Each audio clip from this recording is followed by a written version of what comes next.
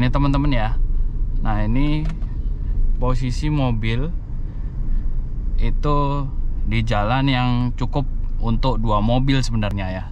Tapi di sini kita kalau pemula rata-rata pemula itu melihat sepertinya mobil ini bisa dibilang terlalu besar ya untuk jalan ya.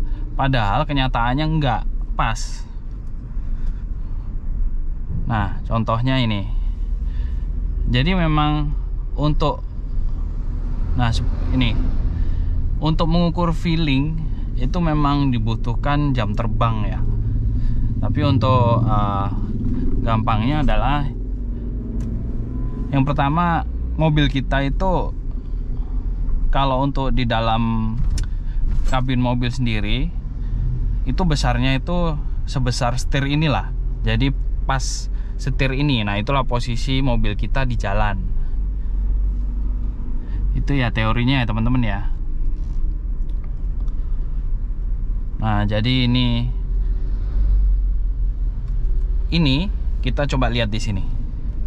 Nah ini kan pas kan di pinggir. Coba kita lihat spion. Nah kita juga nggak sampai ternyata uh, keluar dari jalur juga nggak. Jadi memang benar-benar pas ya jadi benar-benar pas ya. Jadi kalau untuk melihat itu pakai setir. Jadi biasanya ada juga yang di sini itu untuk pemula biasanya pasang sedotan di sini. Tapi kalau uh, saran saya itu posisikan setir aja nih. Nah ini lurus. Nah itu posisi mobil kita di jalan. Nah ini.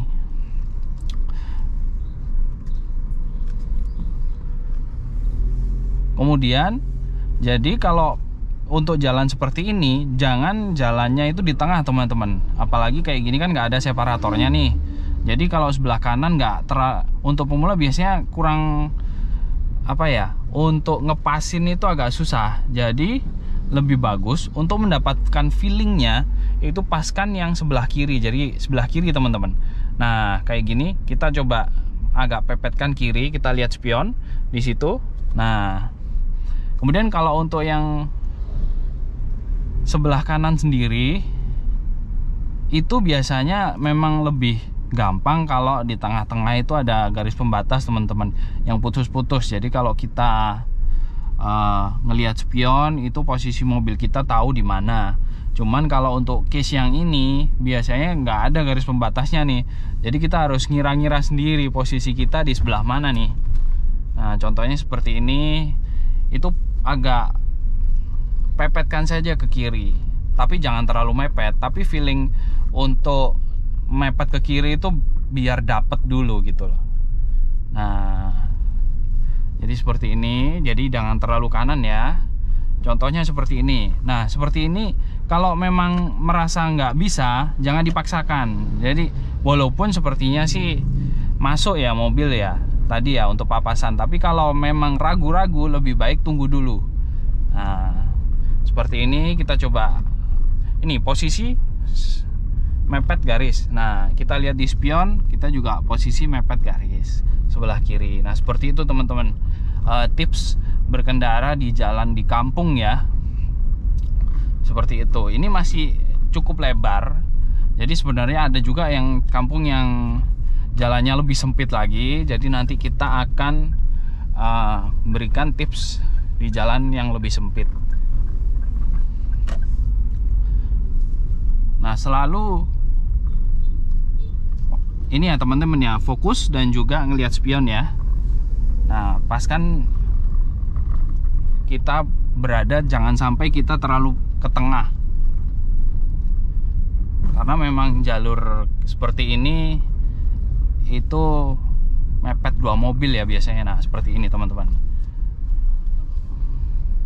karena mendapatkan feeling itu agak susah ya. Nah contohnya seperti ini ada truk lagi. Nah untuk ini nah ini pe pepet agak pepetkan saja. Walaupun kita lihat di spion lolos teman-teman. Pasti lolos. Tapi jangan terlalu mepet kalau memang untuk pemula yang belum dapat feelingnya ya, seperti ibu-ibu ini. Nah kita agak ke kanan tapi jangan terlalu kanan teman-teman. Yakin bahwa uh, mobil kita itu nggak sampai mepet-mepet banget lah. Yakin lah itu. Tapi kalaupun memang belum dapat feeling contohnya di tikungan ini nih. Nah ini pelan-pelan aja kalau belum dapat feeling ya. Nah. oke teman-teman. Itu tips dari saya. Kita ketemu lagi di video selanjutnya. Terima kasih sudah menonton